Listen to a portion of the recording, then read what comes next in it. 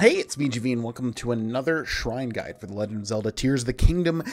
Ladies and gentlemen, this one is Sinnoh Tanika Shrine Combat Training Sneak Strike, and it is located here to the northeast of Hyrule. Right about here. Fung, Soul, Rubber. Gonna do this one live as it's one of those weird combat training ones. Uh, obviously, we're gonna have to sneak strike, use stealth. Not a fan of stealth in video games, I'm way too impatient. Depends on the game. Dishonored, stealth is fun, but the shrine purifies the ancient evil. You who have entered here, heed my instruction. Yeah, what? Tell me. Approach the enemy's back without being noticed and deal a surprise attack. I think I can manage that. Your other attacks are ineffective here. Ready yourself. So there's a lot of different ways that you can go about this. Uh, yeah, so we're going to crouch and sneak strike, uh, we can use the uh, X button in order to dash, like so.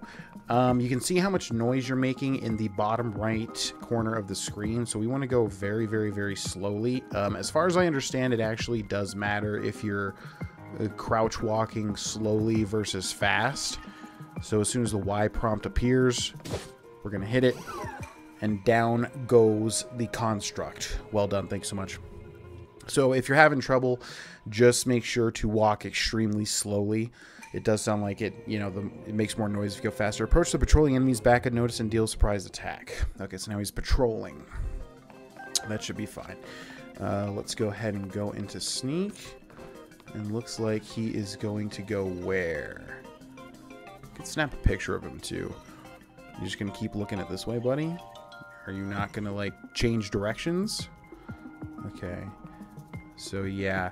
Notice if we move full speed, we are making more sound in the bottom right corner. Uh, we're to try to make this happen. Oh, no. Okay, so now we know he goes to the left, right? The enemy noticed you a result of your inexperience. Try again from the start. I mean, yeah. It's a result of my inexperience. Approach the patrolling's enemies back and notice and deal a surprise attack. We know. Let's go. Yeah, so you got to be careful because A, you got to move really slowly, and B, he'll notice you if you're not. Um, I wonder, though... Oh, this looks good. Excellent.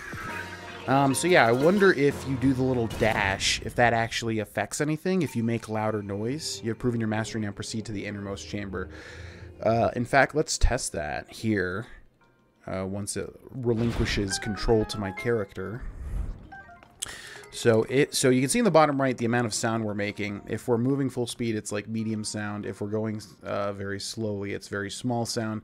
But what happens if we do this? It does go up a little bit, but I wonder if that's not detectable. I would almost bet that it's not. So I guess you could sneak step or whatever you want to call it uh, closer to the constructs if you so wish. But we get a sneaky elixir. That's pretty appropriate. We're going to check and see if we got the chest icon. We do. And here we go. Thanks so much for watching this guide, ladies and gentlemen. If you found it helpful slash entertaining, please leave a like and comment and subscribe if you so wish. And we'll see you in the next one. Bye-bye.